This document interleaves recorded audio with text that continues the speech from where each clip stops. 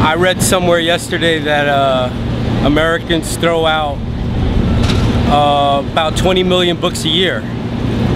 So they're pretty uh, available. My name is uh, Olivieri and I'm an artist. I'm using uh, book covers as a canvas.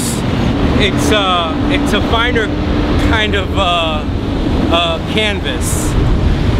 So it's just perfect for me as an artist to explore something that was discarded that I could use and then play with. I have the opportunity to explore different textures and typography and composition. Every book is unique. I get different results and just a, a, different experience with each book. And I can never do the same book twice. And I, I, I usually like to, to uh, not use bright colors. I'm gonna create a silhouette of a horse today on this book. Now I'm not that good where I can just create a horse out of my mind, but I do look at a silhouette of a horse. I got my trusty smartphone where I can uh, find that horse and there he is. Now I'll just sort of uh, visualize the composition of the, the phone to the composition of the book.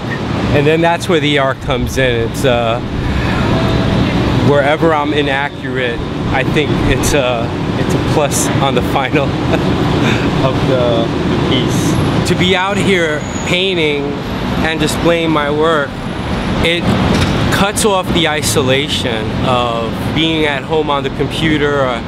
It's just a lot of fun. It's healthier too.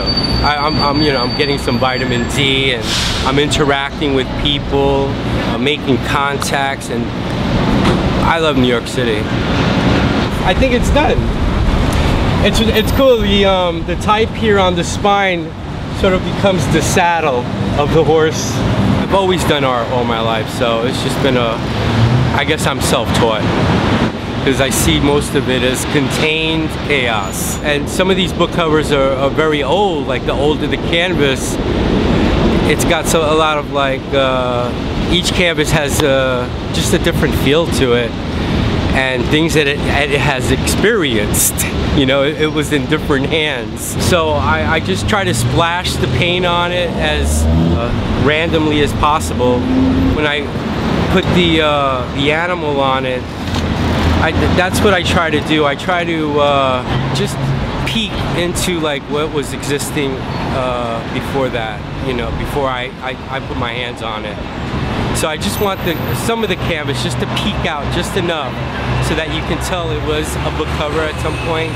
I, am painting what the public more or less wants.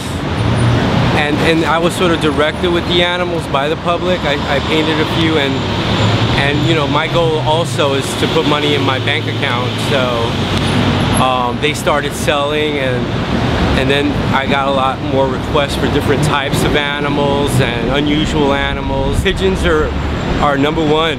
And after the pigeon, I would say the bull. I, I, I, I painted so many bulls. And then I've got pigs. Pigs are a big seller. So are the lions and the longhorn bull. Rabbits, elephants are really up there too.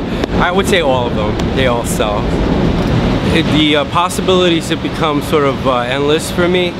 Um, I, I, also want, I'm gonna start exploring uh, print print work. I, I want to blow some of these up uh, into large scales and, and see what, what kind of result I get. It's just endless. I'm in a good place in my life.